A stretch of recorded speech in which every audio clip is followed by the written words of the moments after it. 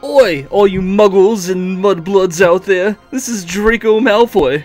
In the last episode of this shit Let's Play series, uh, this, this guy is talking a lot of shit because a lot of people happen to like me over Harry Potter. So no, no, we're not doing that. We're not.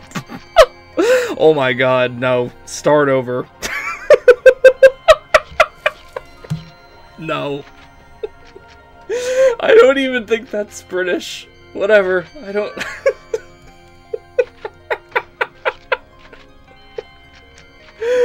Oh, hello everybody. Welcome back to Let's Play .hackgu Volume 2. This is some type of artist, and, uh, God fucking help you all.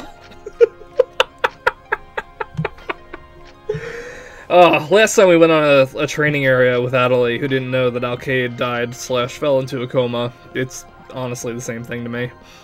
Um, we told her in the Beast uh, Statue Temple instead of, like, out in the field or in a town or in an email because everything has to take place in like the beast statue room for whatever god awful reason. What's up, guys? I know. I'm upset about Alkaid too. Bye, Atoli. There's some things I want to think about by myself. Like how no one's in your way to go after Haseo now. Just kidding. Everyone's in your way because everybody falls in love with Haseo because he's such a charming guy. I think Kuhn's just like standing there, like it, it's it's so weird that they're just like they have like nothing to add. Like in some quests, they'll give like they'll have like every character have a line, so like they can all contribute to whatever plot is there. Like no matter who's in your party, like disappeared, I don't know. I, I feel like to go I, I, feel like they could have done something like that Demon in these situations. whose whereabouts have been unknown since he lost to me. I wonder where he is now. Me too. If only someone would email us telling us where he is. Ovan. But first, let's talk about Atoli's hobbies. I don't know if you could call it a hobby, but I do have three Java Sparrows as pets. I wouldn't call having a pet a hobby, but I do think it's an interesting thing that, you know, opens up who you are a little bit more. So let's continue this conversation. Now what does Ovan want? If you knew, if you wish to know what happened at Endrance, come to Indiclet Lu. You cannot go there from a Chaos Gate. Remember how you visited it before. Wow! How convenient! But I forgot how I got there before. If only the game could tell me how to get back there again. Let's see. The first time I visited Indiglut Lu was. Oh yeah. Delta Submissive Tragedies 1000 Oaks was the first area I went adventuring to with Atoli. Oh, that's right! Thank God Haseo knew the exact area words, too. Just... Man, but how am I gonna get back into the game without somebody holding my hand? It's it's hard. Oh, man, and... ah. Whatever. Whatever, man. Uh, what's up? We're here at the place. Not yet. But we, the people watching this Let's Play, are here at the place that we're gonna go to. With super beautiful music and the weird Endrance frozen in a crystal that's chained together. Like, I don't think the chains are gonna help if that crystal breaks. But. You know, I get it. Bondage, it's, it's a thing you gotta experiment around with. You know, to find out if you're into it or not. While our creepy stalker looks at us. Forgive uncomfortable in there. Oh, it's not our creepy stalker, it's Bo. What's up, Bo? We haven't seen you in a long time. I'm sorry. I really would like to help you get out of there, but Saku would get mad at me if I did. I'm sorry. She'd put you in that crystal chain together. I have to be going now.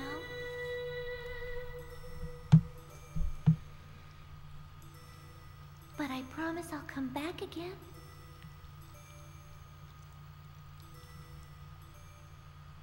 It's weird, not to spoil anything that's gonna happen in like 10 minutes, but we find Sakubo exactly where we left off. Cade told me that I And, should go look for Endrance. You know, According to Ovan, Endrance is supposedly in Indiglut Lu. Okay, let's head for Delta Submissive Tragedies 1000 Oaks and warp there from the sign behind the Beast Temple. thanks, Haseo. I forgot already because of the cutscene, but thank you for reminding me where to go again. Uh, what was I saying? I had a thing to say. Yeah, Sakubo said they were going, and when we go there, they're going to be exactly where they were. So, whatever.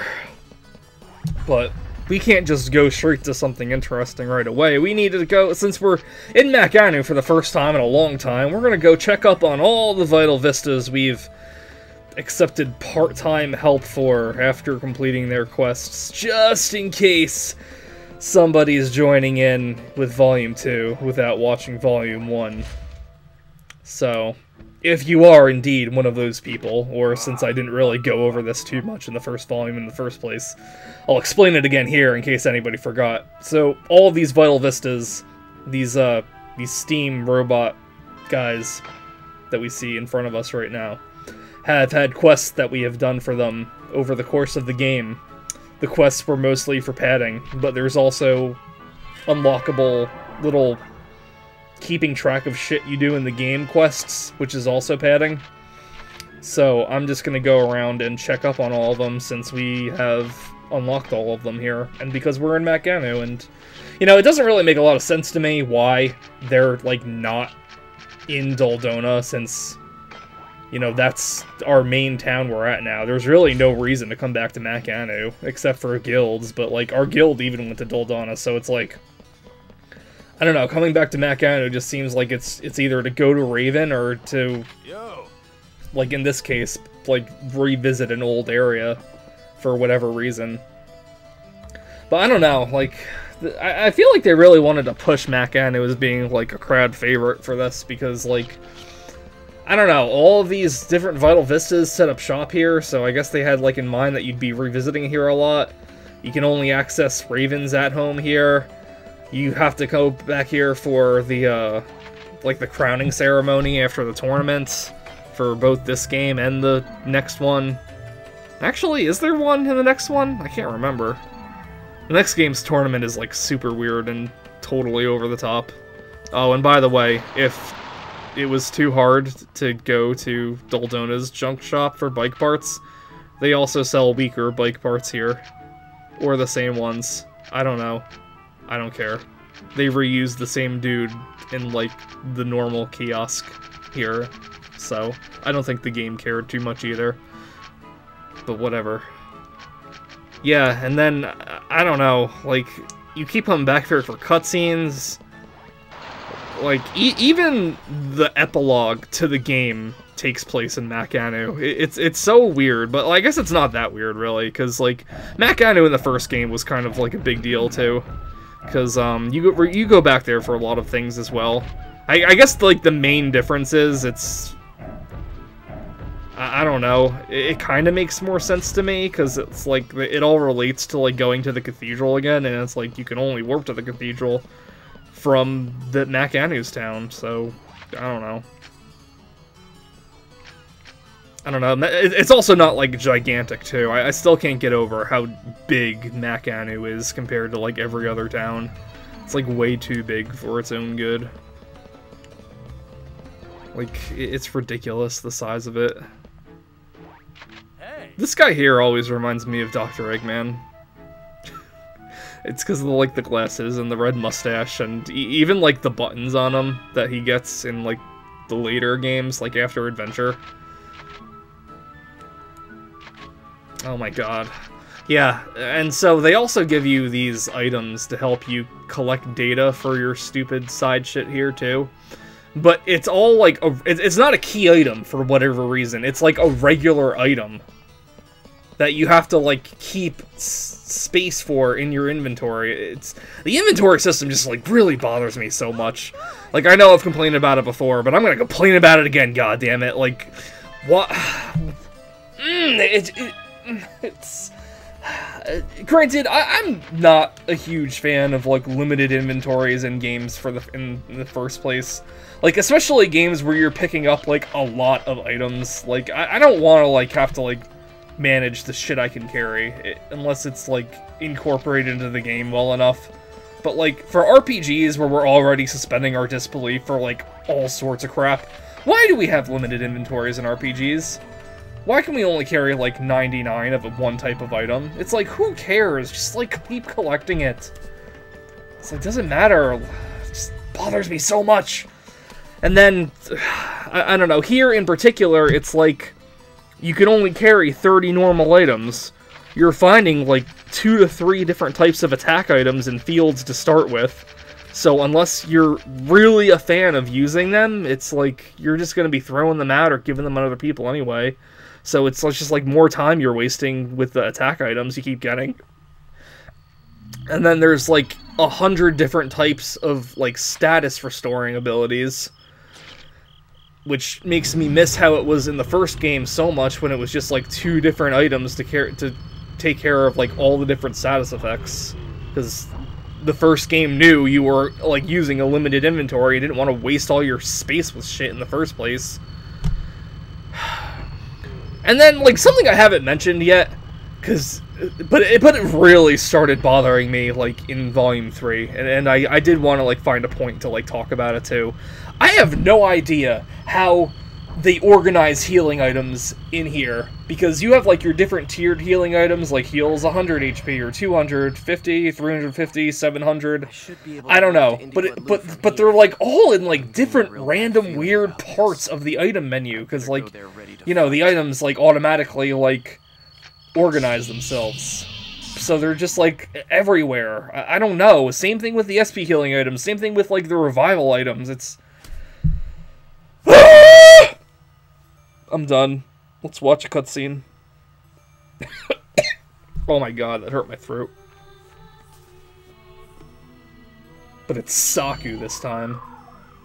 And Saku has a weird ability to raise Endrance out of the lake. Maybe Saku was the one that imprisoned him there. I don't know. I would love to know more about this here.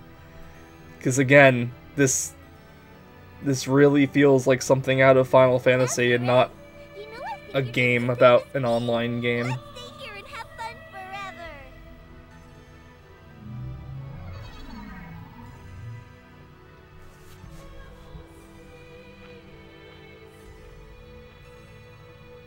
Saku, what are you doing here? Endrance!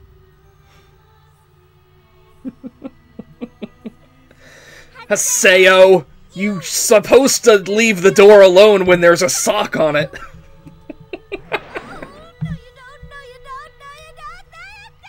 My god, Saku's voice is so beautiful. Oh, she's the same voice actress as Alkaid, too. it, it's so weird how, like, different they are. I, I, was looking up Erin Fitzgerald before, like, to see what else she played. I, I guess she can, like, do a pretty decent range of different types of characters, but, like, I don't know. Like even even with Alkaid, like you can hear her voice like crack here and there, and you've got to like wonder like is this intentional or not. Like same thing with Saku. Saku can be just fine, but like when she needs to like do her squealing, it's just like really annoying. But then again, like I think any kind of squealing in anime in general is like super annoying. Like I think it's one of the reasons people think English voice acting in anime is so bad because it sounds the squealing sounds better in Japanese. But it's like I don't know, maybe it does sound better in Japanese, like in that kind of context, but like, I, I don't know. I just think it's like super annoying when characters need to like elongate all of their words and do squeals and stuff like that. But whatever. We're here to talk about something else. Look! It's another phase! It's Gorre. the Machinator, the Machinator, I don't know what you want to call it. But, um, yeah, so first off, the music in this fight is one of my favorites. It's it's very different sounding than the other ones, and I think that helps add to like Sakubo's like childish nature. Because like e- even like the avatar itself is like very childish, and we have these super cartoony attacks, and maybe that's like another reason why this is one of my favorite avatar fights in the game. So um, it's interesting. I, I, think Gorre in particular is really interesting how they did this compared to the first game. In the first game, Gorre was like I don't know. I always thought it looked like a set of earrings because that's just like I, I don't know. But then they have like faces on them too that pop out, and it's super creepy. And then they like talk with each other too, and it's even creepier. But it's funny too. So since it's kind of like a twin thing, I think it's interesting that Sakubo was like designed to be that. In fact, I'm gonna say right now before going into like at the risk of spoiling anything, I, I feel like Sakubo has very little impact on the plot itself. I, I wouldn't be surprised if they made Sakubo's character to be like one character being shared by two different people to like help give it that like twin aspect to connect it more with Gorre. But as you can probably see here, you know, Saku and Bo will both be taking turns. Saku will be on the offensive. Bo will run away and like throw bubbles at you, and if you can't really escape Bo, then you know they do a powerful attack. They've got like the sun and the moon thing going on here, but we've seen that in their um, in their uh, character designs themselves. But yeah, I don't know. I, I, it's weird that I like Gorre so much here because Gorre is probably like one of my least favorite phases in the original game. But uh, oh, I do like this. Their data drain too. Just shut up for a second. Like, I like how there's, like, blue and pink hexagons for the two of them. And they, like, double up to do it. it it's weird, though, that, like, Bo is attacking you, too. Because, like, if Ida's just supposed to, like... Well, I don't know. I mean, Pi attacked you as well. Every Avatar attacked you to, when you, they went out of control. And that's what this is. But, anyway, so Gorre was, like, not... I, don't know. I wouldn't say, like, it, Gorre itself isn't one of my favorite phases from or it's like my least favorite phase from like the first series. It's more just like what's happening when you fight it. Because like whenever I think of Gorre, I think of the ending to Dot Hack Outbreak, which was the third game in the series of four games of the original. And, and I, I always thought like the third game's ending was like super super weak and boring and it, it just kind of left on a really dull Stay tuned for the next episode of Dot Hack Video Games. like, I really liked how each game ended except for the third one, and because Gorre is, like, the last boss of the, the third game, you know, I, I always think about that ending and just how, like, boring and let down it felt. I guess, like, uh, it's around that time, too, like, at some point in Outbreak, where, like, I don't know, I, I am getting less invested in the story as well. Because one thing I really like about the original games and, like the first like half, so like the first two games, is that it really does feel like a mis it really does feel like a mystery story that you're trying to unravel, and so many things just it's like exciting trying to like like figure out the pieces to everything and learning new information and everything like that. And I mean, I I wouldn't say like the mystery aspect is gone in the second half of the games, but you do kind of like get enough information and support to actually start like stop being affected by these phases and like all the damage that the virus is doing and like start mounting a counterattack against it like in the first half of the games, like you'd always like just end up running into the uh, the phases and stuff like that. Bad things would just start happening, and it, it you were kind of getting jerked around a lot too because like all the characters in the game weren't like joined up together and agreed to help each other out despite their differences. And like when that actually finally does start happening, you know, it kind of just feels like a more like you know, save the day kind of thing, which is fine. It's just I, really like the first two games more because of like the mystery aspect. But we beat you up, Sakubo. Give me Endrance. Saku, Aw, he cares. Sort of. Is that Bo? Bo? Can't even tell the difference half the time. Yeah. Where's Saku? Is she alright? Yeah, it makes you wonder how they were like playing that fight. Like, were they like sharing a pair of headsets and doing it? You, you have to like really wonder how they're even like doing this in the first place together.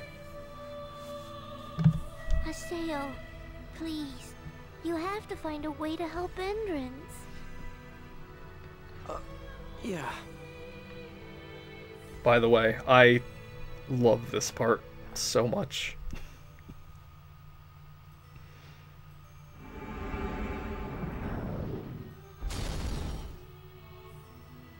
Not that part. This one. Hey, Endrance. Wake up. Can't you hear me?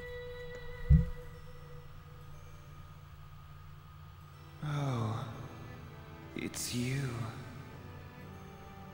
Greetings to you too. Would you mind leaving me alone?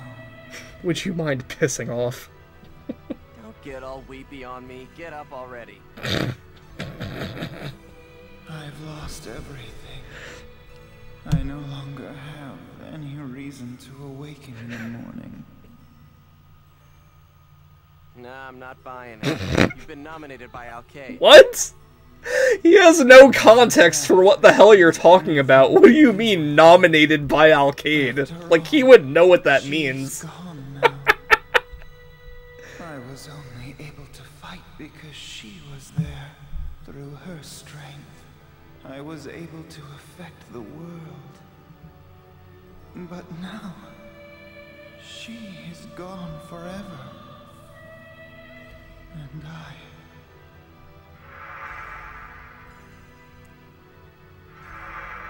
Wait a minute. Are you talking about that cat? Mia. No matter what happened in our lives, she was always my friend. She went away once, but she came back. Yup. Talked about that She when we all fought I had Endrance. In this world. And that was why I did everything that I could for her. Everything. Feeling joy and love and pain at her words made me so happy. That so-called cat you're talking about is named Ida, and she's a mysterious human-eating monster. You're wrong. She she. She was the only one. She was the only one who needed me.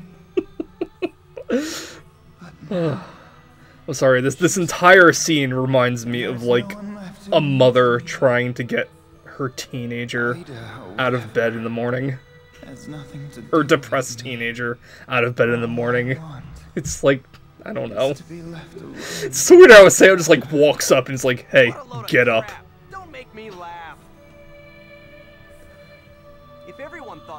Thought like that, then this world would become full of things that had nothing to do with anyone.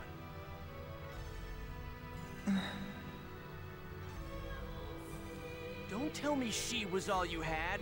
She's not. You've just been denying everything that wasn't her. Hate to give Haseo credit, but You haven't done does have a good point. And yet you're just giving up without a fight. That is legit good advice. But.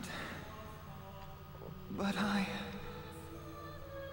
No buts, no excuses.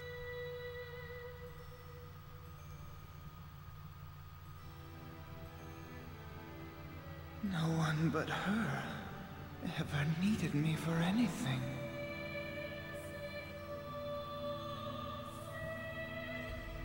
Hey, listen to me. I. I need your help.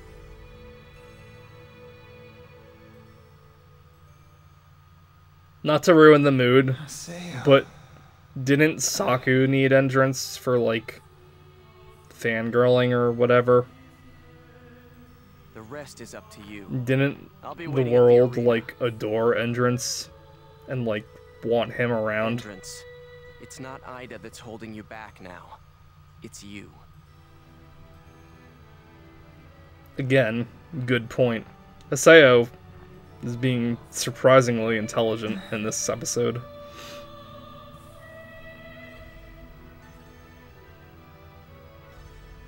So, with that, I guess only time will tell if Endrance will help us. Nah, I'm gonna do it right now. He does. Endrance is gonna join our party soon. uh, see you later, everybody. We'll talk more about this later. Bye.